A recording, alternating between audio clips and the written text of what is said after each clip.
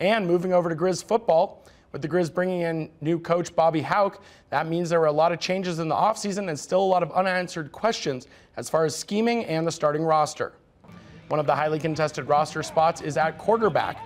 Redshirt sophomore Gresch Jensen played 10 games in 2017 for the Grizz when QB Reese Phillips went down to injury. He tallied six touchdowns. Dalton Sneed is a transfer from the University of Nevada, Las Vegas, where he started six games as a freshman in 2016. Both QBs know the competition is tight, but are just focusing on what they can do best. Between me, Gresch, and Tanner, I think our, our, our friendship and our uh, everything is great off the field. And once we get on the field, we compete with each other. You know, we push each other. Someone makes a great play, tell me made a great play. You know, it's your, it's your friend, but you're competing day in and day out.